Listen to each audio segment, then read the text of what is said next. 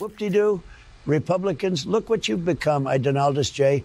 Trumpus, your soon-to-be emperor, have dragged you into the cesspool and turned you into everything you've always pretended you revile. So true.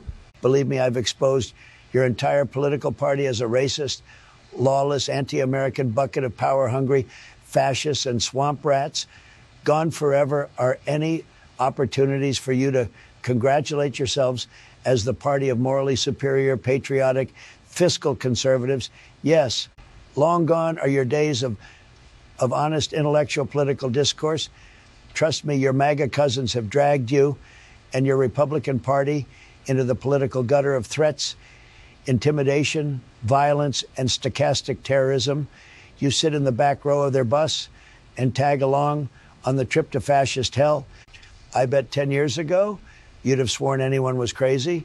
Trust me, who told you that you'd be willing to elect a lying, convicted sexual assaulter, convicted fraudster, convicted charity scammer, up on charges for campaign finance, fraudster, heretic, liar, indicted on multiple counts of a election interference, a draft dodger who calls military heroes losers and suckers, obviously fake Christian grifter, always grifting, lying, COVID deaths who cares her, malignant narcissist, foreign pale a traitor, Baker Act violator, insurrection inciter, lying Constitution denier, immigrant marrying, immigrant basher, uh, misogynist, abortion, flim flammer, contractor, invoice scoffer, traitor, open adulterer, twice impeached, lying U.S. debt exploder, economy destroyer, openly racist, anti America, pro Putin, baby caging, Bible selling, blaspheming liar who says he'll be America's first dictator.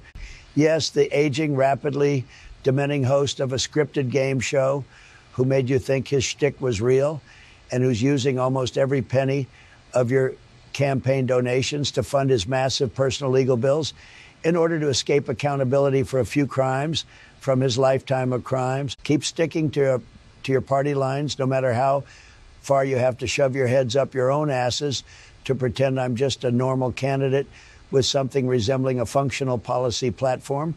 Anything is preferable to openly acknowledging you're just like every other MAGA. Uh, believe me, with your loathsome, racist, homophobic, transphobic, immigrant phobic, other phobic bigotry under wraps. Guess what your disguises are? As thin as wet rice paper. When the world sees this, the world sees you. This is what you and your Republican Party have become. Thanks for your votes, you sleepwalking suckers. Welcome to hell. Now take a hike, you disgusting, hypocritical, un American goose. Scavino, this Coke is flat. Damn it. Stop bringing me uh, the crap from the fountain. I want a fresh can from the fridge every time. You know that. Get me a new one and bring me a few pieces of that chocolate cake